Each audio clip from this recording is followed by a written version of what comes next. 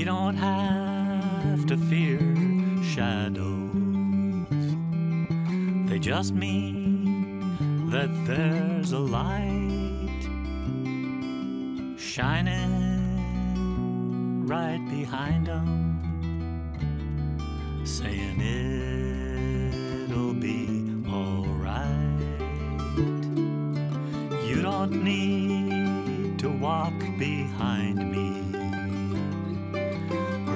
far out in the lead.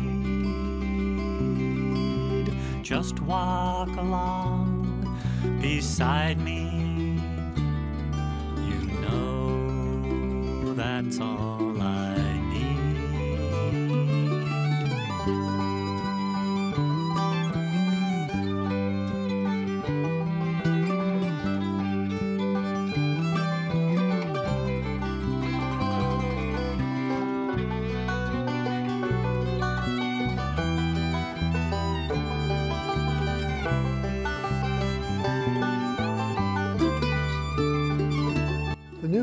Project had its beginning in the year 2003, 20 years ago, with the idea of bringing change to a world seeking change.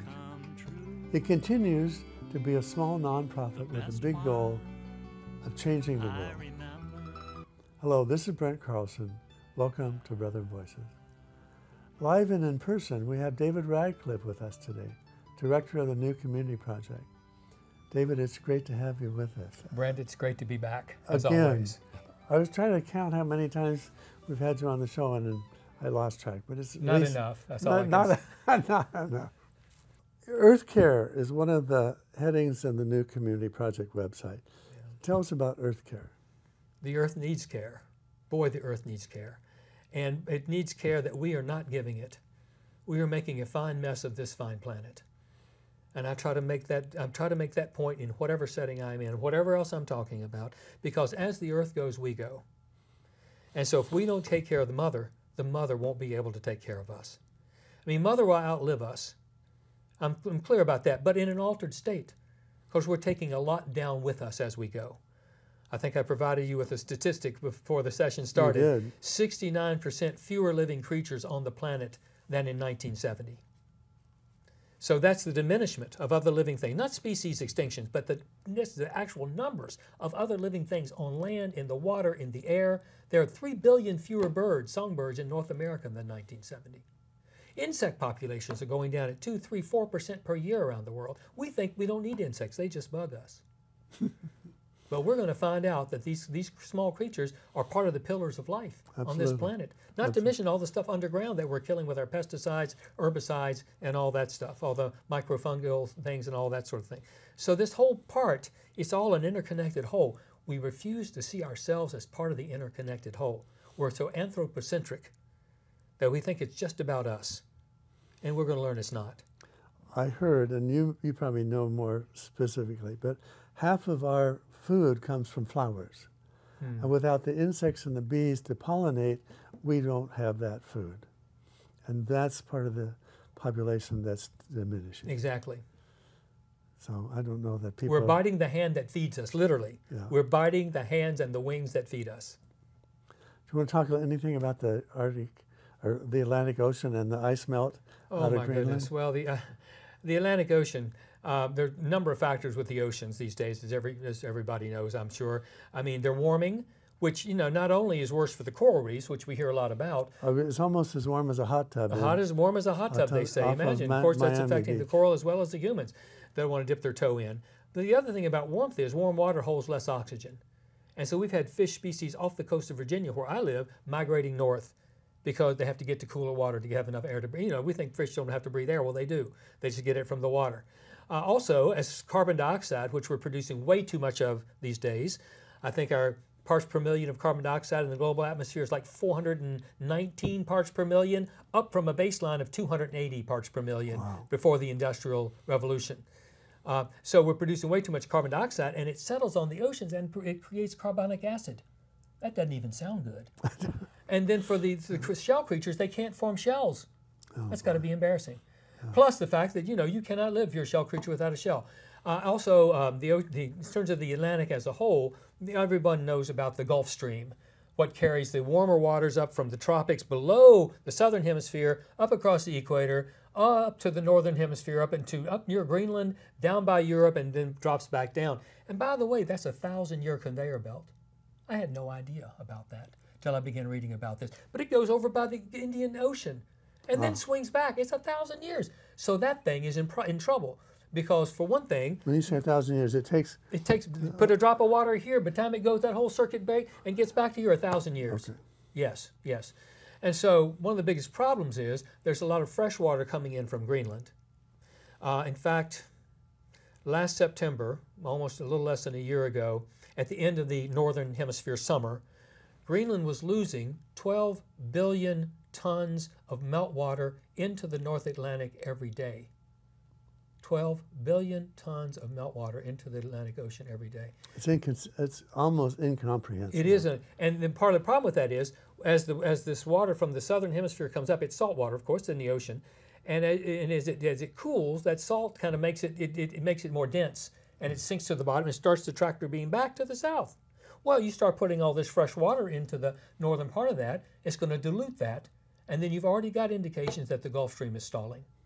Now, to give you one little kind of uh, what's the word I'm looking for, one little example of what consequence that may have, England and Hudson Bay are at the same latitude. Hudson Bay has polar bears. Yeah. The reason England doesn't is because of the Gulf Stream. So, That keeps it warmer. yes, so King Charles is, Charles is going to have more problems than his kids if the Gulf Stream stalls. Yeah, yeah, yeah. How do you how do you develop partnerships that you can trust with these communities around the world? I take. I, we don't have any uh, any set of uh, criteria anybody's got to meet. We have been really lucky to find the people that seem to be in our on our wavelength, and doing things in a way that's not for themselves, and with an eye, ear to the ground to hear the people, and the the, the currents in their society. Well, I, I mean, we have all kinds of strange ways that we found these people. One of them, we, a woman from Malawi, we met at a covered dish meal, uh, a, pot, uh, no, not a, a, a donor's meal, a supporter's meal in Vermont. She was there on an exchange program with 350.org, the climate change organization. Oh, that's I've heard of that. And so we had invited the director of that organization because our friend, uh, my, my, my colleague Pete up there knows her, and she got invited. Well, she brought Taona with her to the meeting where we have we provide a meal for our supporters, and they get uh, a big also containers of Ben and Jerry's ice cream because they donate it to the cause when we're having a meeting in Vermont. Um, and so Taona came, and she saw my pictures, heard the stories, and said, "You need to come to Malawi." So that was in the fall of 18. In May of 19, Tom Benevento and I, after our South Sudan Rwanda trip with a bigger group, he and I went on down to Malawi for our first visit there. So, and then it's been a, you know, say a marriage made in heaven. I mean, we all, I mean, they're facing lots of challenges. And I don't want to make it seem like it's a, you know, a paradise. They have lots of challenges. But the things we have to offer each other is what I'm saying. And so, in various ways, we've come upon these relationships that have ended with Charlie up in Arctic Village. I called our, I heard a, a person speak at a National Council of Churches event back in 2001, probably, from Arctic Village in Washington, D.C. I was taken by what he was saying about the oil drilling and all these things in Gwich'in culture. And um, a guy at the conference said, I was just up in Arctic Village, a Methodist guy, friend J.D. Hansen. He said, it's among the most beautiful places I've ever seen. I'm thinking, who doesn't want to go there? You've got the beauty, but you've also got the issues. And that's kind of the thing that we're, we're looking for the beauty in each culture and in each people and in each natural setting. We're also looking for the challenges they face, and especially where they involve us, as with the Arctic. So I called the village. I got the chief answered or something at the community at the offices. He said, "Well, you need to talk to Charlie Swaney." So I talked to Charlie Swaney. I'd never met the guy before. I'm taking a group of 10 or 15 people up there, uh, landing in an airstrip in the most isolated community in the west, northern hemisphere, not knowing if this guy's going to show up at the landing strip to meet us, honestly. and what happens next? And there we go. And it was all beauty after Wonderful. that with Charlie. So, Good. so just a variety of ways that we have lucked into, been led into these relationships that I think are beneficial to them. At least uh, I don't want to be in it if it's not, yeah, and certainly beneficial to us. great. Tell us about the the um, Dene Lybrook Yeah. Community I've- in New mhm. Mexico. We've been really fortunate to have a relationship with them for about seven or eight years now. We have been working with the Gwich'in for over 20 years. We've been going to the Ecuadorian Amazon now for about, mm, boy, 17 years, 17 or 18 years. So we had kind of native communities on either side of us, far away, that we were connected to. We never had a native group in the lower 48 that with whom we could affiliate in some way. Well, I met the directors there, the kind of the managers there uh, back seven or eight years ago. And this is a Brethren mission. It is. In 1952, I think. It started as a Brethren mission spot there, and they provided services over the years. There's been a school there. There's current, there's been health clinics. There's currently a water point there. Also, just various kinds of community services they offer, firewood, and some other things. Um, so we were able to start going there again seven or eight years ago. I think 2016 would have been our first trip there, um, and that has really blossomed. And now there's a, a native couple, not couple, native mother and son a couple of people that are organizing programs there. Marlene Thomas and uh, Eric Dennison, her son, they're the ones coordinating. First time, and that started last year. Uh, well, actually started at the beginning of COVID, but the first time we could go was last year because of COVID. Uh, that they hosted us, and so it's as far as I know the first time in the history of that mission site that the mission's being carried out by a native family, native people, which I find encouraging, frankly. Yeah. And so we have a great experience when we go there, learning about. We visit with a medicine woman. I'd love to talk to you about Dorothy Kitso for a while sometime. Visit with she's a hand trembler. I'm not going to go any further with this because we could get in a long conversation. but we meet with Dorothy Kitso. Uh, we also meet with craftspeople. Uh, we do the fracking tour because uh, the hydraulic fracking fracking is going on big, big gangbusters out on the this part of the Navajo area. It's not a reservation. It's really called the checkerboard area because all the land is divided up into family plots or clan plots, and so it's not a reservation that some upper authorities making decisions for the whole. It's individuals making decisions for themselves about whether they allow the fracking on their land, because they can sell They- off the rights to They, the and they can make some money. they can make some money or they can't make money. They can. They can, but sometimes they don't. But still, it's, of course, they're a very impoverished situation. In some ways, um, you know, it's hard to blame them. But also, there's a lot of water pollution, air pollution, rumbling of trucks back through the area, all kinds of other environmental and human impacts. So we learn about that. We visit Chaco Culture National Historical Park, about an hour's drive away. Spend a better part of a day there, ex- experience a culture that was in decline beginning about 1100 AD.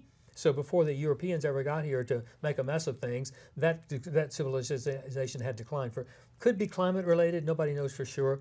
Anyway, so we do a variety of things there that help us understand the Dene, the native people there better and their culture and their life, current lifestyle, and then to experience the current issues that they face. Can you just explain? So there's oil in this area. Can you just explain in 30 words or less what fracking is and why it's such a controversial issue? Fracking is injecting high pressure water and chemicals up to a mile underground, breaking up the substructure, the rocks and things that are there, to release the gas and the oil that are trapped in the porous rocks and substructure there.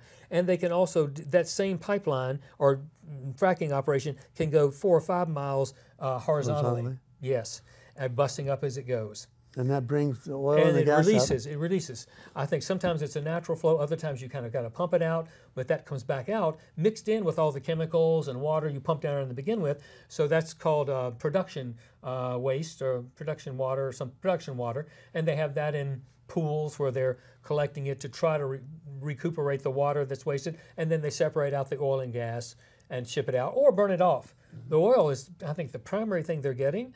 By the way, New Mexico is the second leading producer of petroleum in the United States after Texas. Is that right? I did not realize I that until this trip.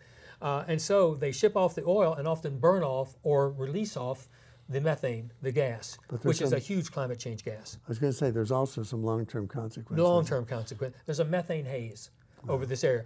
Uh, we talked to um, uh, Samuel Sage, uh, a native elder there, who gave us the fracking tour this time. We were with him this last June, and he said, "I can. I'll never forget the day the bus driver came in soon after school had started and just said, I can't believe how many children are on inhalers now." Oh my. God. the asthma, and so, or other kinds of complications. I don't know what they might be, but so it is having very, very clear detrimental impacts.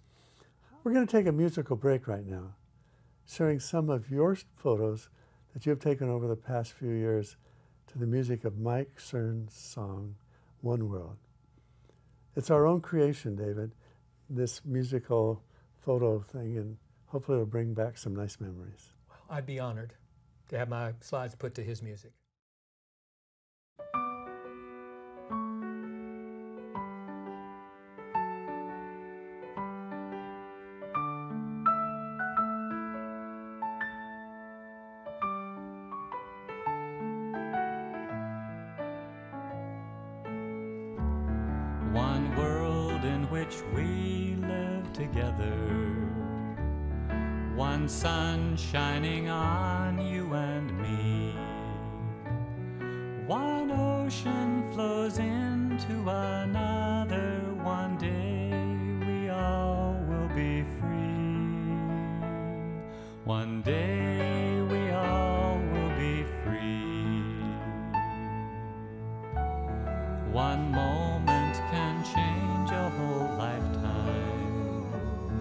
One life can change eternity.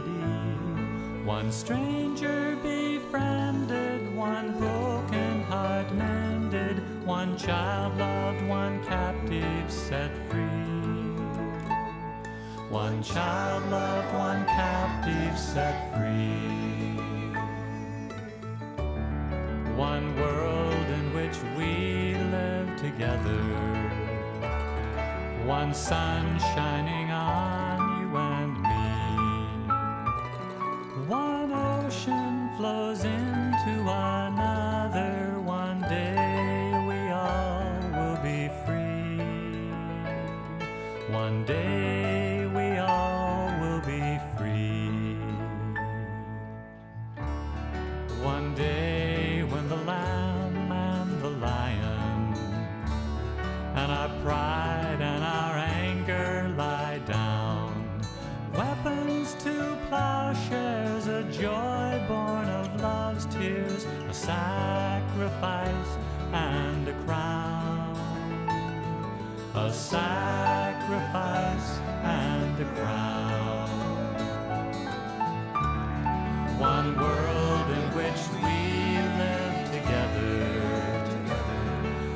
sun shining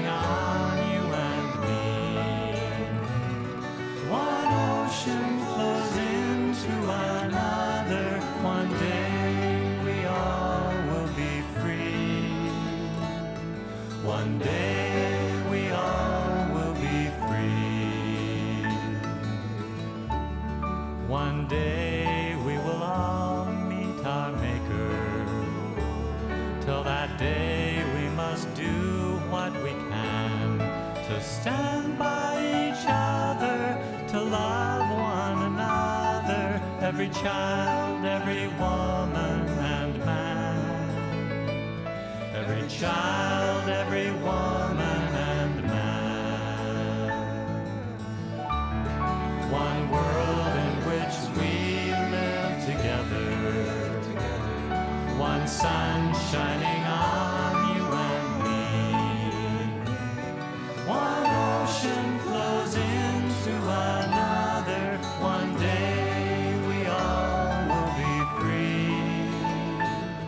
One day we all will be free.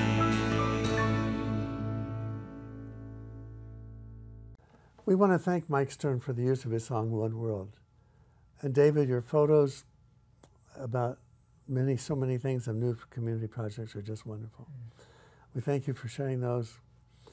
And it really is about making relationships. I, I'm convinced of that as well. So you're celebrating the 20th anniversary. You probably have experienced more than you ever imagined. We have been able to see some of your some of your projects, some of your learning tours. What's been the biggest surprise over the last 20 years? Whoa. Wow. Um, probably that we're still around. Uh, who would have thought when we first began this? It was kind of on, on a wing and a prayer, honestly. I had no idea. But I found that people have kind of rallied around what we're working on at New Community Project. I don't, mm, I don't say, I say I'm surprised by that, I, but I am a little bit surprised and gratified that we're making something out of this. And it's because people, I think, I think people respond to good people doing good things in a good way. Mm. And there are lots of organizations, not just New Community Project, of course. Yeah. In your your, you all with your Brethren Voices, I mean, you're doing good things in a good way with good people. But I find people respond to that and they want to know what they can do and how they can help. And that's been very gratifying. So that's been, that's been probably the most, um, I don't want to say unexpected, but you never know when you start something like this. That's right. You never know. And just to be deeply gratified that people have been with us. I tell groups all the time, we're nothing without you. And I mean it. And I don't mean just financial support. I mean the moral support, the idea that we're in this together. We all need to know we're not fighting these battles alone. We hope to give that sentiment to our network, to the people around us, especially young people, but old people too. And also, we, we receive that from them this idea that we're, we're a team here. We're working towards something together. I really like your 4-H, uh, heart, head, hands, and Health. health. So, is this planet going to go over the edge? Are we going down the toilet? What do you think? Well, um, we've got the whole world in our hands. To put a twist on that old song, we've got the whole world in our hands. And it's the choices that we're making, and especially this, this emerging generation, the choices they are making, will really tell the tale. We need uh, deep and soon changes. I think it's within the human capability to do it. But we need leadership on this. And again, the people at the top aren't asking much of us these days. They think we can green our way out of this predicament by certain scientific methods and new kind of technologies and new energy sources. I think it's going to take all of us springing up from the grassroots to put the pressure on those at the top and to take matters into our own hands, frankly, and figure out how we're going to get from where we are now through the difficult times ahead, which I think there are going to be because there's enough in the pipeline about climate change and species uh, destruction and all the other things that are going on. There's enough in the pipeline. It's going to be bumps in the road for sure, but we hope there's not a cliff. And whether there's going to be a cliff or not totally depends on us. I think it's amazing that many years ago we had we were limiting our thermostats and turning them down. We were slowing down on on the highways to conserve fuel, and we don't hear anything about that now. We don't hear nobody from the president on down is asking anything from us. Yeah. And yet I feel like I don't want to speak for the American people in general because I'd have a hard time figuring them out too. But for a lot of us in in the moral middle ground, I feel like that we would respond Yeah. to the right kind of challenge. And so, but I don't find anyone doing that. I think they're they're afraid of the next election, really. And of course, they're getting resources, financial resources, from all the corporations that are benefiting from the destructive path that we're on. So, how do we be the ones who raise the vision to see the thing that's out there, the better thing that's out there, and set our own trajectory uh, to meet that to meet that vision? And then I think others will follow. I mean, you and I, well, those of us who try to live a little more consciously about things, when we do something different, we notice that other people notice. And of course, it may perturb them sometimes, but it also may invite and excite them sometimes to see that somebody's stepping out on a new path. And that's sort of the American mantra. I mean, the frontier. This is the new frontier. Yeah. And do we have the courage to walk it? Well, it's the old mantra is be the change you want to make. So, David, it's wonderful as always to sit and talk to you. A blessing and a pleasure, Brent. Thank you The so pleasure much. is mine. For Brethren Voices, this is Brent Carlson And this is David Radcliff. wishing, Wishing you you peace. peace. Pass it on. Just prior to the completion of this program with David Radcliff, President Joe Biden's administration canceled all remaining oil and gas leases from drilling and other development in Alaska's fragile Arctic National Wildlife Refuge. It moved to protect an additional 13 million acres in the nearby National Petroleum Reserve. Interior Secretary Deb Haaland, who is the first Native American to hold a cabinet position, she told reporters, with today's actions, no one will have the right to drill for oil in one of the most sensitive landscapes on Earth. Climate change is a crisis in our lifetime, she said, and we cannot ignore the disproportionate impact being felt in the Arctic. We contacted David Radcliff about this amazing development to get his reaction to these actions. And he stated the recent decision by the Biden administration to put the coastal plain of the Arctic National Wildlife Refuge off limits to oil drilling is so important. There is the environmental value as it will preserve one of the most pristine portions of our continent. David also said that the coastal plain is also the calving grounds for the porcupine caribou herd who make one of the world's longest land migrations every spring to this welcoming ecosystem. And for the Gwich'in people, for whom the caribou are central to their lifestyle and culture, this decision is key to preserving their identity and we might say their survival as a people. For the rest of us, the coastal plain is refuge of the mind and spirit. And even if you never see it for ourselves, we know it is there and is a unique part of our planet. So, speaking for the native Gwich'in, we'd like to express our Mother Earth rejoices in this small victory. We still have so much work to save our planet and save Mother Earth from ourselves.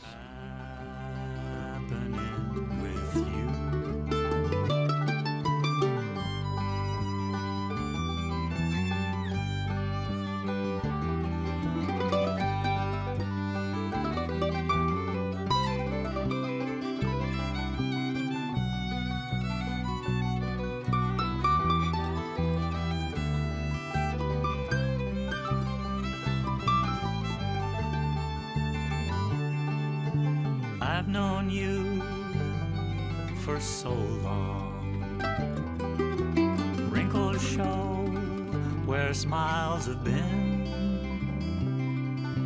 Even when we're parted,